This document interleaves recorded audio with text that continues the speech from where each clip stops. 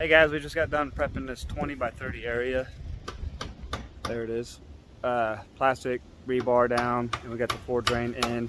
Um, the reason we left this out is because he wants this all to be sloped for washing vehicles off and snow and stuff.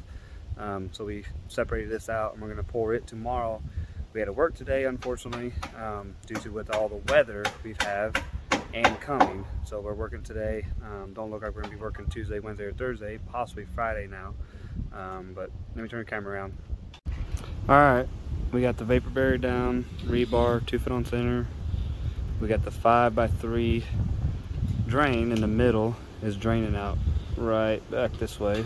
You can see the pipe there. Um, we got the expansion joint in because when you're pouring two slabs next to each other you need a, a joint expansion joint in there for expansion contraction. And then our rebar we drilled all our rebar every single one of them into the existing concrete we poured last week